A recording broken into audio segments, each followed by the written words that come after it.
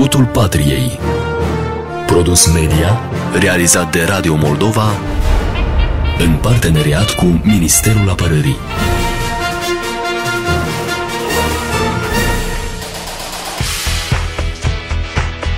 Arta militară este destinată oamenilor cu caracter, personalitate și verticalitate. Duminică de duminică descoperim noi destine, situații de viață, exemple demne de urmat, evenimente abia scoase din cuptor. Fiecare om este o carte. Când o răsfoiești, parcă și sufletul se îmbună, parcă și inima îți crește știind că ți este frate de țară, parcă și viața îți pare mai dulce și plină de farmec. Suntem cu drag de voi, ca de obicei, domnița Șechiu și Tatiana Cocerva. Nu plecați departe, în scurt timp revenim cu delicii la dejunul din această zi frumoasă. Bună ziua!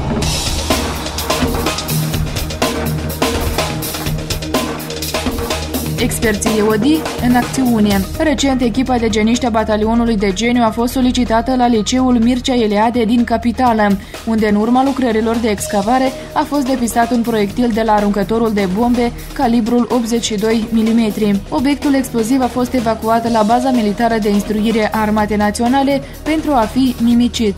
De la începutul anului, geniștii Armate Naționale au avut 34 de ieșiri în diferite localități ale țării, unde au distrus 112 obiecte explozive.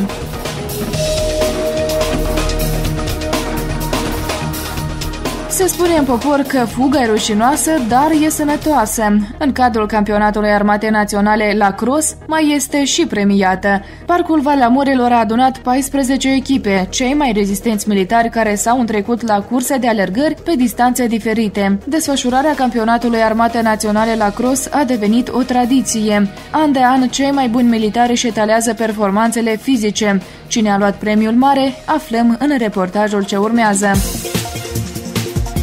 Potrivit locotenent colonelului Vasile Olednic, șef serviciu pregătire fizică și sport al Armatei Naționale, competiția a reunit 14 unități militare. Participanții au concurat la curse de alergări la trei distanțe, 3.000, 5.000 și 10.000 metri. De, de, de, de, de, de! Străduința sportivilor nu a fost zadarnică. Militarilor li s-au oferit diplome și distincții în funcție de rezultatele înregistrate. Astfel, conform clasamentului general, Cupa Campionatului la Cross a revenit echipei batalionului 22 de menținere a păcii. Pe locul secund s-au plasat militari din Brigada a 3 Infanterie Motorizată, iar pe locul 3 s-au clasat studenții Academiei Militare a Forțelor Armate Alexandru cel Bun. Campionatul Armatei Naționale la Cross se desfășoară anual, obiectivele principale ale competiției fiind promovarea unui mod sănătos de viață, dezvoltarea aptitudinilor fizice ale militarilor și menținerea spiritului de echipă.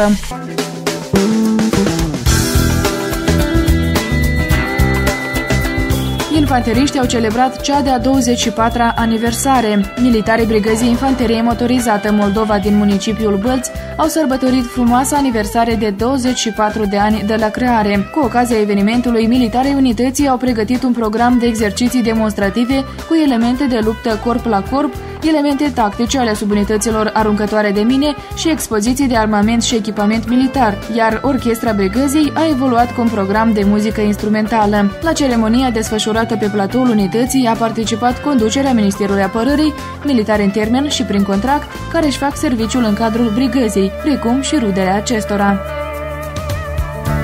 Prezent la eveniment, viceministrul apărării Alexandru Cembreciuc a felicitat efectivul unității cu prilejul sărbătorii și a înmânat unui grup de militari și angajați civili grade militare și diplome. Viceministrul apărării a specificat că în prezent în fața fiecărui militar din cadrul brigăzii, dar și a întregii armate naționale, stau misiuni importante, misiuni care solicită angajament, cunoștințe și implicare. Vă suntem recunoscători tuturor celor care ați stat la baza formării unității militare, venind acasă acasă atunci când țara v-a chemat, care ați luptat în războiul din Transnistria și cel mai important celor care și-au jertit viața pentru independența și integritatea Republicii Moldova. Dragi militari, Astăzi, în fața dumneavoastră și a întregii armate naționale, stau misiuni importante, misiuni care solicită angajament, cunoștință, implicare și devotament. Am certitudinea că împreună vom reuși să îndeplinim obiectivele stabilite, punând astfel în valoare profesionalismul cu care vă caracterizați. Cu ocazia sărbătorii a 24 de ani de la crearea brigăzii, vă adresez cele mai calde felicitări în numele conducerii Ministerului Apărării și vă doresc noi succese, împliniri profesionale și personale, ambiții și perseverență. La mulți ani, Brigada Moldova, la mulți ani, domnilor infanteriști!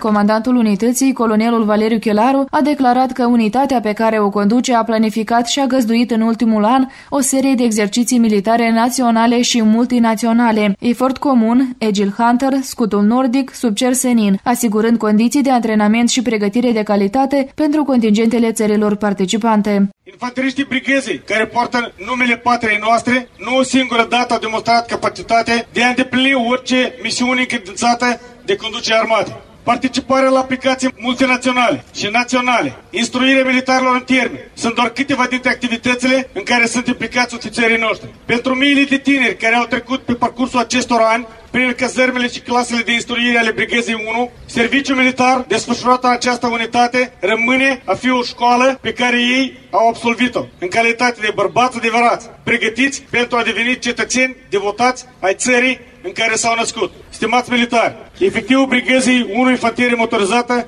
și-a dobândit rând cu întreaga Armata Națională, stimă și încredere cetățenilor. Iar aceasta denotă că împreună facem meseria cu onoare și devotament. Vă mulțumesc pentru activitatea și efortul depus. Vă doresc succese și realizări remarcabile pe viitor. Trăiască Brigada 1 Infanterie Motorizată Moldova! Veteranii brigăzii anual retrăiesc aceleași emoții. Aceștia vin la sărbătoare alături de rude și prieteni, demonstrându-și mândria de a porta epoleții Armatei Naționale. Sunt capitan Sergiu Grumeza, sunt șef stat-major batalionul motorizat, brigada infanterie motorizată Moldova. Pentru mine astăzi este o zi semnificativă în biografia mea militară, fiindcă asta este ziua unității noastre, unde eu fac serviciu de la prima zi când am fost repartizat ca comandant de pluton și am ajuns la nivel de șef stat-major. Și am emoții deosebite, trăiesc astăzi, fiindcă astăzi este ziua unității, ziua Nămască, 24 de ani de la aniversarea unității. Împreună cu militarii brigază am retrăit mai multe momente pozitive, negative și m-am uh, afirmat ca militar. Pentru asta este o zi emoționantă pentru mine. Brigada Moldova, decorată cu Ordinul de Stat, Credință Patriei Clasa 1, este prima unitate a Armatei Naționale care a depus jurământul de credință Republicii Moldova și poporului său la data de 10 aprilie 1992. Scutul Patriei Produs media realizat de Radio Moldova în parteneriat cu Ministerul Apărării.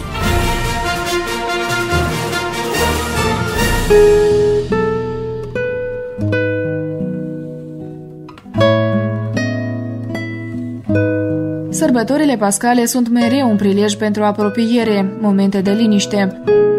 Fiecare dintre noi ne reamintim de speranță, iubire și încercăm să transmitem cât mai multe gânduri calde către cei apropiați.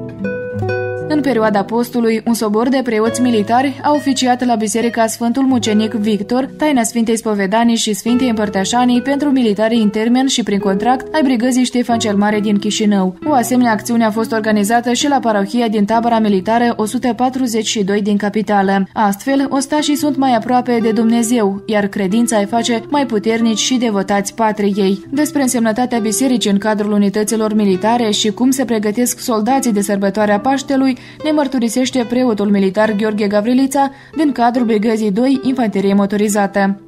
Cu acestea și cu altele, cu acestea și cu altele, am greșit în fața lui Dumnezeu. Am greșit în fața lui Dumnezeu. N-am smirenie. N-am smirenie. N-am răbdare. N-am răbdare. N-am dragoste față de aproapele. N-am dragoste față de aproapele. N-am pocăință dreaptă. N-am pocăință dreaptă. Și mă rog cinstit de părinte. Și mă rog cinstit de părinte. De toate acestea. De toate acestea. Și de multe altele. Și de multe altele. Pe care le-am făcut. pe care le-a făcut, iartă-mă și dezleagă. iartă-mă și dezleagă. Și te roagă lui Dumnezeu Și te roagă lui Dumnezeu pentru mine păcătosul. pentru mine păcătos. Militarii din brigada a doua sunt fericiți că în cadrul unității dispun de un complex educativ ortodox Biserica Sfântul Mucenic Victor. Potrivit preotului Gavrilița, religia nu doar apropie tânărul ostaș de Dumnezeu, însă și îl educă, îl responsabilizează față de toate lucrurile sfinte. Regulat în postul mare și în alte posturi, noi uh, mărturisim efectivul și îi aducem la taina împărtășanii. Se întâmplă că în acea mulțime de ostași se depistează cineva care este nebotezat. Se întâmplă că sunt uh, copii care în genere sunt ateiști. S-a întâmplat câteva cazuri că au fost de altă credință, dar chiar ultima dată s-a depistat cu un băiet care este dintr-o familie de altă confesiune, a dorit să primească Sfântul Botez. Deci suntem foarte receptivi la aceste lucruri. Noi, acei ostași care se stăruie să nu întrerupă acea practică avându de acasă, fiindcă majoritatea sunt creștini ortodoxi, sunt învățați de bunei, de părinții săi să parcurgă la biserică, să fie la slujbe, toți aveau practica de a se mărturisi, de a se împărtăși, doresc ca această practică să fie prelungită și aici în armată. Tânărul ostaș trebuie să fie împăcat cu sine, cu Sfântul, cu Dumnezeu, trebuie să fie mărturisit și clar că să aibă o întărire, acea energie dumnezească, Harul Dumnezeu care se transmite tuturor prin acea rugăciune preoțească și prin acea apropiere de Sfintele Taine, unde Iosep Sfânta Împărtășanie. Este foarte important ca acest lucru să se întâmple și acest lucru să fie și mai departe practicat, fiindcă observăm nu poți cere din uh, acel tânăr straj disciplină dacă nu are el o frică, o autoritate față de ceva sfânt, față de părinți, față de Dumnezeu, față de patrie și față de acele lucruri pe care le oferă armata ca să fie păzite cu strictețe. Drapelul, imnul și așa mai departe. Pe parcursul unui an de armată, preotul unității desfășoară lecții pe diverse teme cu militarii în termen. În special se pune accent pe cei codași cu care se lucrează regulat pentru a educe de la început la calea cea dreaptă. Anul acesta suntem în luna a patra, am făcut 4-5 lecții dedicate tematicii drogurilor, alcoolismului, fumatului. S-a arătat și despre avorturi, s-a arătat și despre acele consecințe care au asupra fiecărui om patimele decât păcatele. Mulți dintre cei care vin în rândul armatei aparțin la o pleiadă de oameni care totuși îngrijesc de sine, se ocupă cu sportul, dar o parte sunt din familii mai vulnerabile care le trebuiește asistență, trebuiește o învățătură, fiind îndrumați pe o cale mai dreaptă ca să lepe de aceste vicii. De aceea și să fac aceste lecții, când este întregime brigada în jurul a 500 de oameni, facem într-o căpere mai mare. Atunci când este de necesitate să lucrăm cu acei mai uh, rămași în urmă, ostași, nu spun că toți băieții sunt buni. Chiar în sala aceasta, în complexul nostru educativ, facem uh, lecții și dorim pe viitor să punem accentul anume pe acești copii care de la început să văd că rămân în urmă.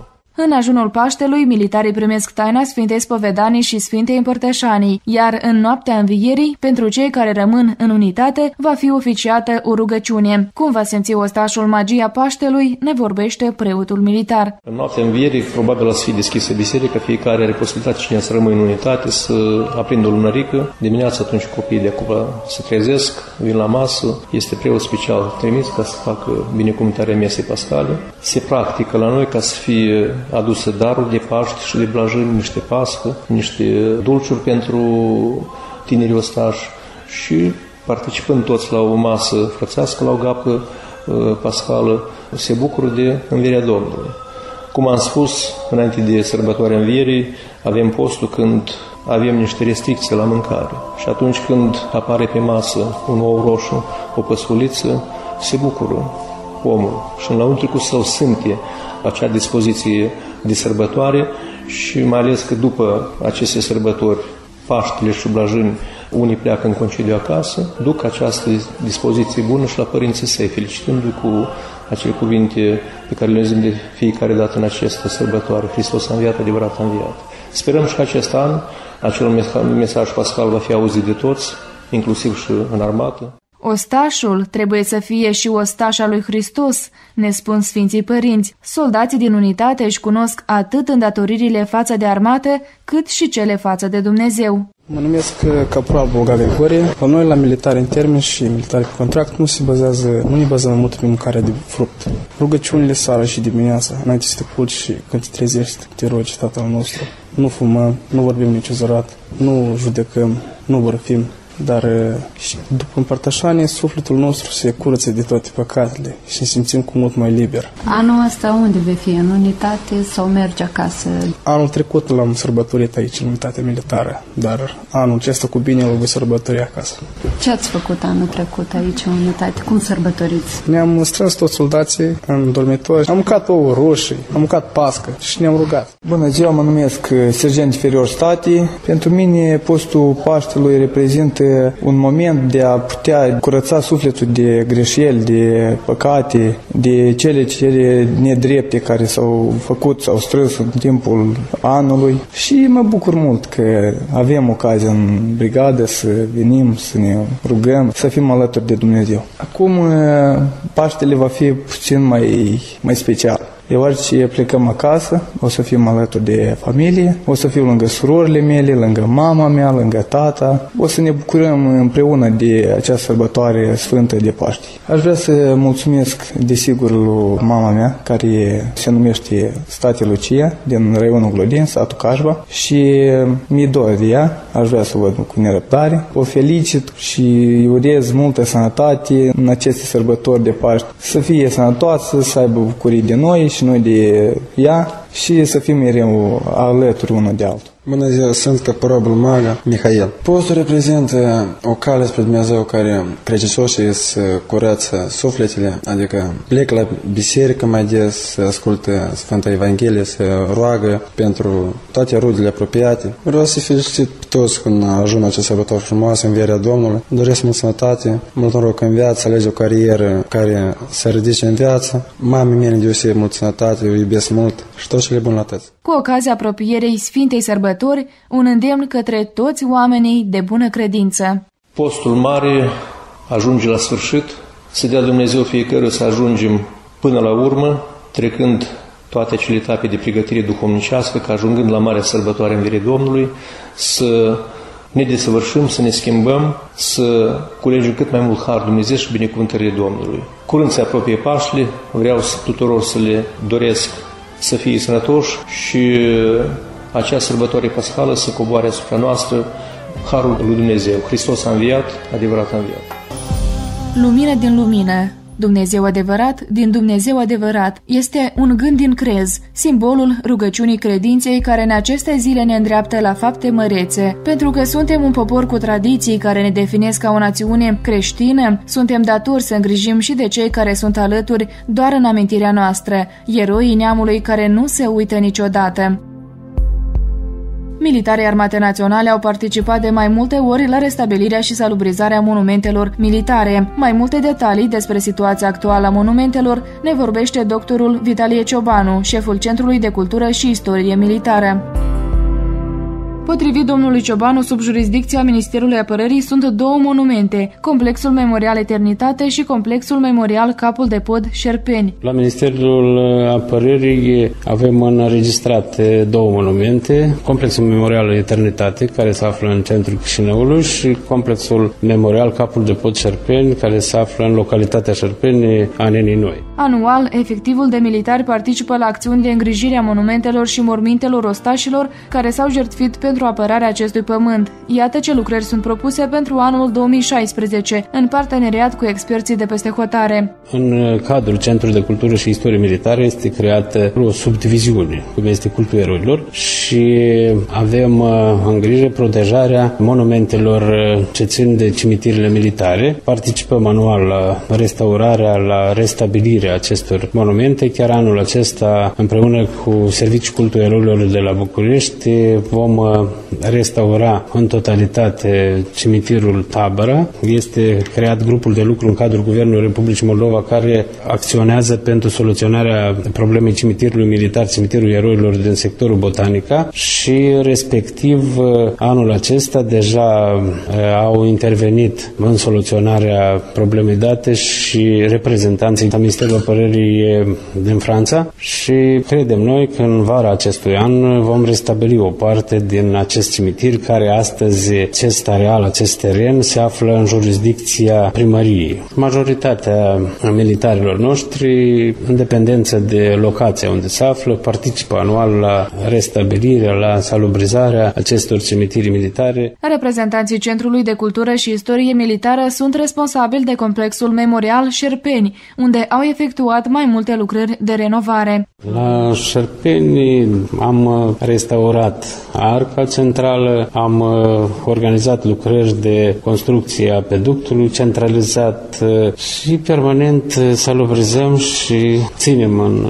ordine acest complex memorial. Ostașul este ostaș, indiferent de naționalitate. El a fost obligat, practic, să meargă la război, nu de bunăvoință, așa că este o datorie a noastră să cooperăm, să avem acorduri de colaborare cu toate statele partenere pentru a menține memoria celor care au avut de suferit sau decedat în luptă. 18 aprilie este Ziua Mondială a Monumentelor și Siturilor, zi convenită cu scopul de a atrage interesul publicului pentru protejarea patrimoniului arhitectural.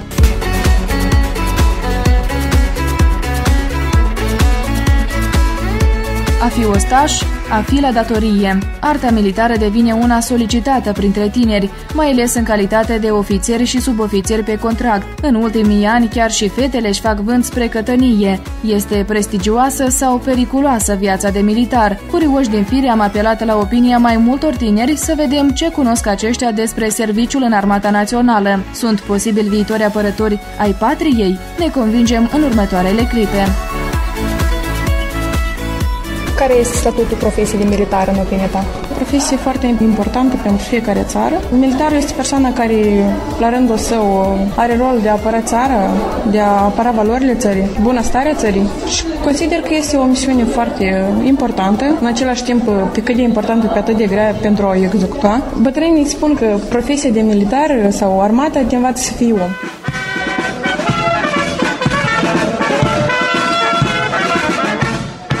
Pace nu cred că este o profesie atât de grea, însă în caz că este un conflict militar, cred că da, e o profesie cu risc mare, cu risc de viață.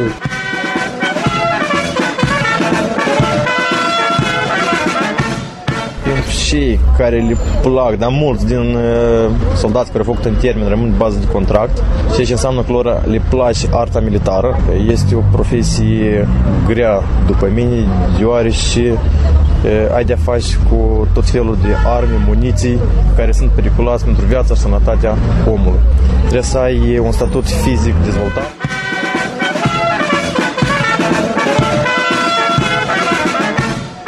Care este statutul profesiei de militar în opinia ta? Că este o profesie care necesită multă responsabilitate și cred că e o profesie grea. Cred că tinerii trebuie să aleagă să facă militarie, nu să fie impuși în primul rând, pentru că trebuie să plece și să facă militarie cei care au vocație pentru asta, dar cei care sunt de ajuns de puternici atât fizic cât și mental, ca să poarte responsabilitatea asta pe umerii lor.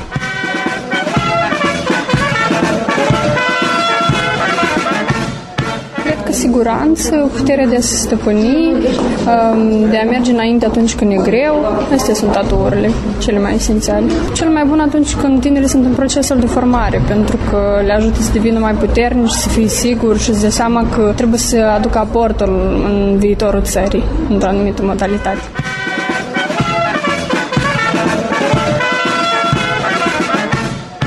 Personal nu am făcut catedra militară, dar din spusele cunoștințelor mei sau chiar și prietenii care au făcut, au rămas, au rămas mulțumiți și au spus că nu este atât de grea, mai ales că nu se pune mare accent pe partea teoretică, mai mult e practic, ceea ce trezește interes și curiozitate pentru că acolo înveți lucruri interesante, știu că te informezi despre armamente și multe, multe alte lucruri utile. Șanțe, foaie verde, flore de rozachie Eu plec mândru, dragă, și te las cu dor. Plec un an de zile la militarie Dar cum trece anul, vin și mă înfor. Plec un an de zile la militarie Dar cum trece anul, vin și mă înfor. Un, doi, trei, pășește în marșul stașul Un, doi, trei, cadența respectând. Maică și tăicuțe, mi-a venit sorocul Ca să-mi apără țara și al meu.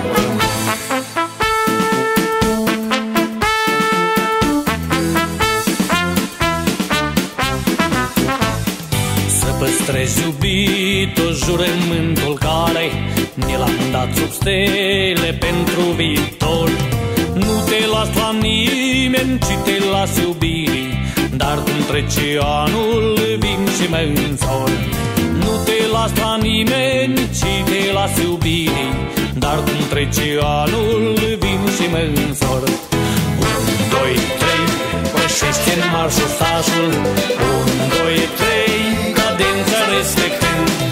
Maică și tăicuțe, mi-a venit sorocul Ca să-mi apără țara și al meu. Pământ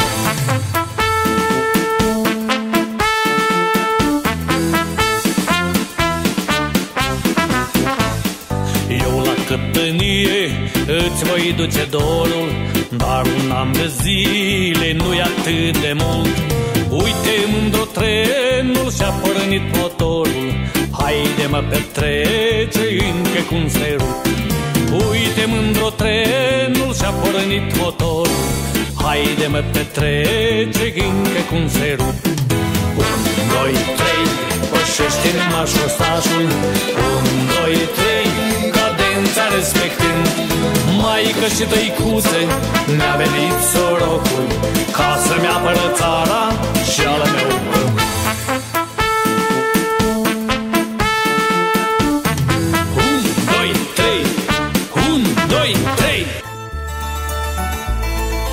Iar acum, dragi prieteni, nu-mi rămâne decât să vă doresc sănătate, pace și zâmbete în casa dumneavoastră. Ne bucurăm să vă știm alături. Domnița Jechiu, Tatiana Cocerva, toate bune! Pe curând!